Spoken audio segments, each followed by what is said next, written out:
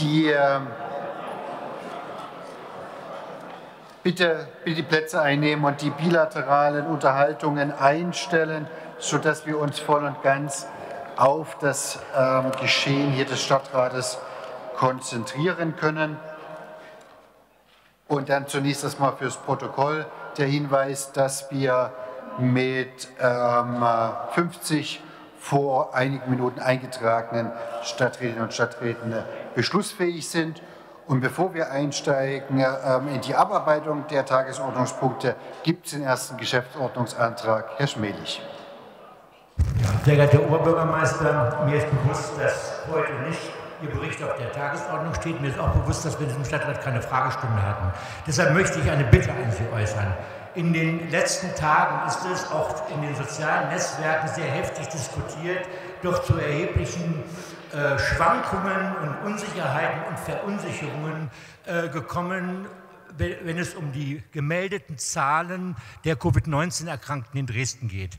Diese Verunsicherung ist entstanden insbesondere deshalb, weil die Zahlen, die beim RKI für Dresden geführt werden und beim Land doch erheblich von den lokalen abweichen. Zusätzlich äh, hat es gestern auch noch erhebliche Korrekturen in der äh, im Laufe des Tages gegeben, die also wirklich zu diesen Schwankungen führt, dass die Dresdner Corona-Ampel ja von grün auf gelb und jetzt mal wieder in den hellgrünen Bereich zurückgesprungen ist. Da ja viele Entscheidungen des Stadtrates durchaus auch vom Infektionsgeschehen äh, in Dresden abhängen, wenn ich da nur an die Weihnachtsmärkte denke, wäre ich Ihnen sehr verbunden, Herr Oberbürgermeister, wenn Sie äh, die Gelegenheit dieser Stadtratssitzung nehmen würden und äh, mal erläutern könnten, was denn der Hintergrund dieses von mir beschriebenen Umstandes ist. Herzlichen Dank. Will ich nach bestem Wissen und Gewissen tun, damit ähm, auch die Öffentlichkeit darüber ähm, informiert ähm, ist. Ähm, wir haben das auch äh, beim Ministerpräsidenten in der Runde gestern ähm, auch diskutiert, kam von verschiedenen Kollegen, auch äh, Landräten, ähm, aber auch von uns dass es schon schwierig für die Öffentlichkeit ist, wenn da unterschiedliche Zahlen unterwegs sind. Das hat mit den Meldeketten zu tun und mit den Veröffentlichungsterminen. Normalerweise sind die aktuellsten, die die, die Kommune veröffentlicht. Und ich nehme jetzt mal das Beispiel Erzgebirgskreis.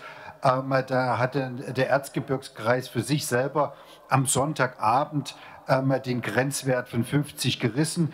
Ähm, der Anruf aus dem Sozialministerium kam zwei Tage später. Ähm, das ist eben anhand ähm, das ist nochmal dringend angeregt worden, hier wirklich zu gucken, dass mit einheitlichen ähm, Daten und einheitlichen Terminen die Kommunikation nach außen erfolgt, weil ansonsten ist es für alle Beteiligten natürlich außerordentlich ähm, schwierig, worauf kann ich mich jetzt verlassen. Ich gehe mal davon aus, dass sich jetzt die Kollegen gerade im Ministerium Soziales auch hier darum kümmern werden. Dazu kam eine zweite Thematik, die betrifft uns jetzt selbst, dass ähm, innerhalb der Landeshauptstadt, ähm, wenn jetzt ähm, mal komplexere Nachverfolgungsfragen waren, sind die Sachen eingegeben worden, ähm, immer dann, wenn alles geklärt war.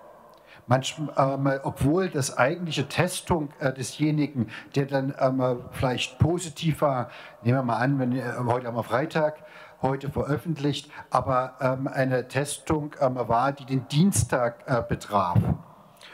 Und von dieser Thematik her wird jetzt, wurde jetzt korrigiert auf die Realthematiken, wann sind die entsprechenden Fälle tatsächlich passiert weil das ja sehr, sehr wesentliche Ausflüsse hat, was früher egal war, jetzt den ganzen Sommer über, wenn Sie null, wenn Sie zwei, wenn Sie drei Fälle haben. Ähm, aber bei der Sieben-Tage-Inzidenz ist das schon sehr wesentlich, ob ich jetzt heute an dem Tag habe oder ob das drei Tage zurück ist.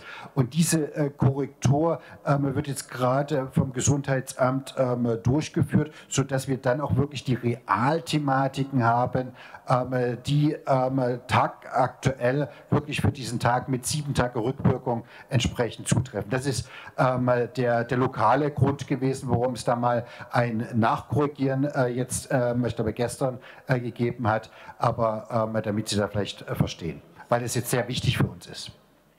Und insoweit stehen wir danach günstiger da als zunächst befürchtet.